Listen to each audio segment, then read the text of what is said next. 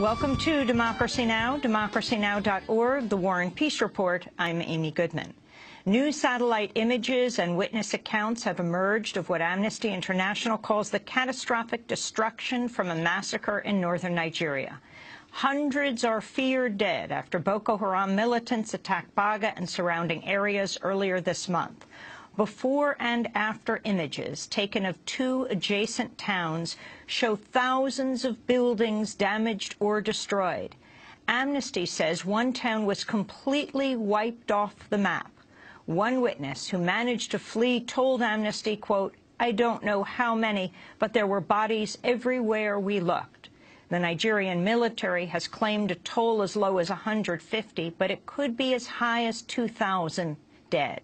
Amnesty said, quote, of all Boko Haram assaults analyzed by Amnesty International, this is the largest and most destructive yet, a deliberate attack on civilians whose homes, clinics and schools are now burnt-out ruins. An underground Belgium arms dealer has turned himself into police in Brussels, saying he sold the weapons to the gunmen in last week's Paris attacks. French authorities have also reportedly identified the accomplice of Amadou Coulibaly, who killed four in a kosher supermarket. The news comes hours after al-Qaeda took responsibility for the Charlie Hebdo massacre, saying it was ordered by top leader Ayman Zawahiri. On Wednesday, Charlie Hebdo published its first issue since the attack, featuring a cover of the Prophet Muhammad holding a sign that reads, Je suis Charlie, or I am Charlie, with the headline, All is Forgiven. The issue was published in five countries with a print run of 5 million copies, up from the magazine's normal circulation of 60,000. The Islamic State has launched a series of new attacks across Iraq, killing dozens of people. According to Al Jazeera, at least 16 Kurdish Peshmerga soldiers were killed today in an ISIS offensive on the Mosul Dam. Other attacks were reported in the town of Sinjar and another flashpoint area in Diyala province. The Pentagon says the U.S.-led coalition carried out 12 strikes on ISIS positions inside Iraq overnight. General John Allen, the U.S. envoy for the global coalition, said Iraq is on the front lines of the campaign against ISIS following the recent attacks in Paris and other Western cities. As we saw so tragically in Paris last week, Iraq is on the front lines of a global conflict. I was in Paris last week meeting with French and European counterparts as the crisis there was unfolding. And it was a stark reminder that Daesh's dark, violent ideology has a long reach. Even before Paris, we saw terrorists inspired by Daesh wreak havoc in other capitals of the coalition, in Sydney and in Ottawa and in Brussels. The United Nations has issued a new appeal for Syrian refugees as a harsh winter sets in.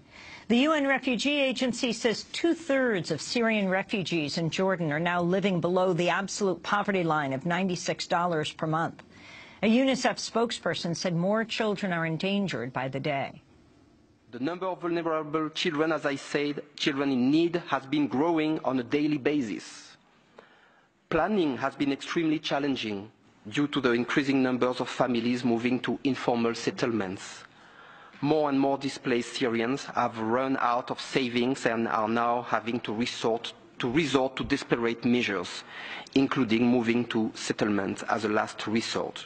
Five Yemeni prisoners have been freed from the U.S. military prison at Guantanamo. Four were sent to Oman, where another will go to Estonia, the first time either country has agreed to take in former Guantanamo prisoners. The five have been cleared for release for many years, but the U.S. has refused to send them to Yemen. The Pentagon says there are now 122 prisoners left at Guantanamo. An Ohio man has been arrested for an alleged plot to attack the U.S. Capitol that authorities say was inspired by the Islamic State. An FBI informant said Christopher Cornell planned to set off pipe bombs and open fire on congressional officials and staffers.